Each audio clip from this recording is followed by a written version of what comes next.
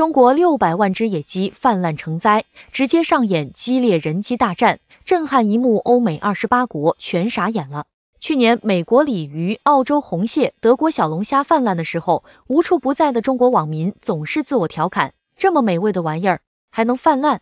放到中国来，我们能把它吃成濒危物种。但这么能吃的十四亿吃货们，为什么自家多到影响农作物种植的东北野鸡毫无办法呢？我们常说的野鸡，学名其实叫雉鸡。相比于农村家养鸡，雉鸡的体型小了一圈，但尾巴却比一般的家养雄鸡要长上许多。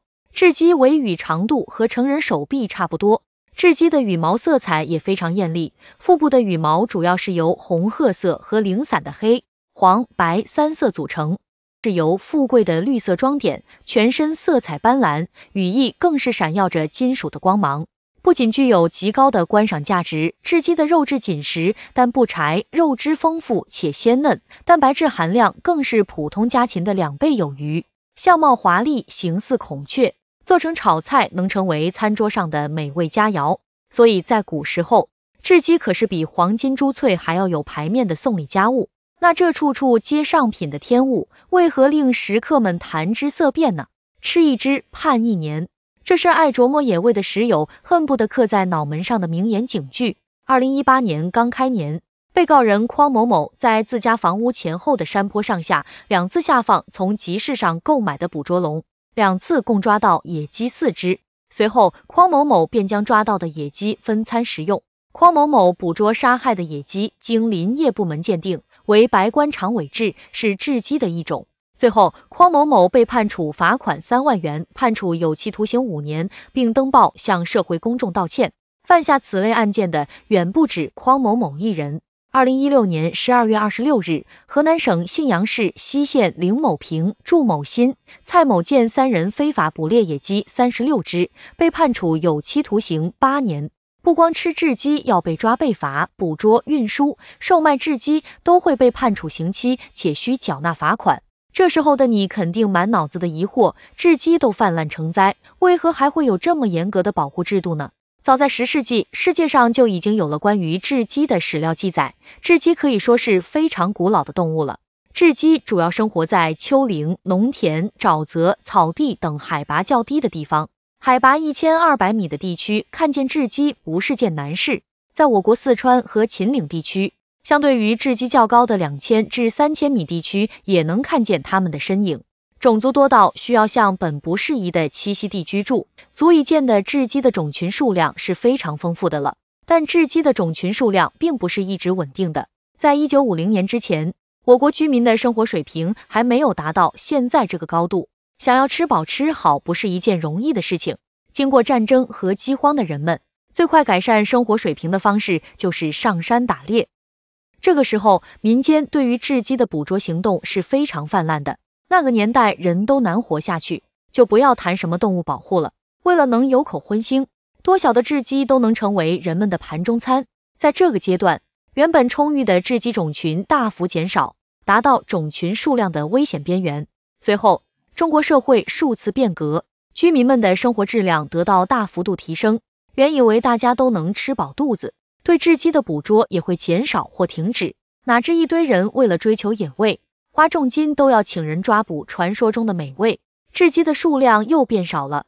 前一轮捕捉受损的种群数量还没得到恢复，抓不到成年雉鸡，食客们对于幼年雉鸡更为推崇。后来连幼崽都看不见几只了。人们又对雉鸡的蛋打起了注意。雉鸡在繁衍时，求偶的叫声清脆响亮，有经验的猎人五百米开外都能听清雉鸡的鸣叫。且雉鸡为一雄多雌的繁衍结构，一旦发现一个雉鸡巢，也就意味着这附近还有很多雉鸡筑巢。同时，由于雉鸡的巢穴多搭在草丛中、树根旁、麦地里，想要掏雉鸡蛋，简直不费吹灰之力。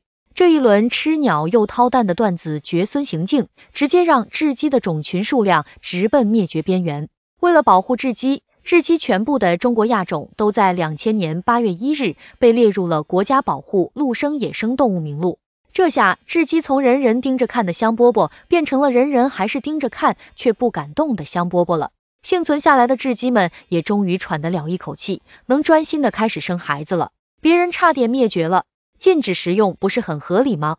时间是改变一切的良方。二十三年过去了，雉鸡可不再是当年差点成为历史的雉鸡了。雉鸡虽被大力围剿过几十年，但雉鸡的繁衍能力可不容小觑。每年的三至七月都是雉鸡的交配时间，一次产卵最多可达二十二枚。最早在四月末就能看见初入世界的小雉鸡破壳而出，长达五个月的交配时间，一雄多雌的高效交配机制，最大二十二枚的产卵记录。加上人类活动增加，大型肉食动物减少，繁殖快，天敌少，四处都可安家的雉鸡种群的恢复速度不是稳定增长，而是呈几何倍蹭蹭蹭的往上涨。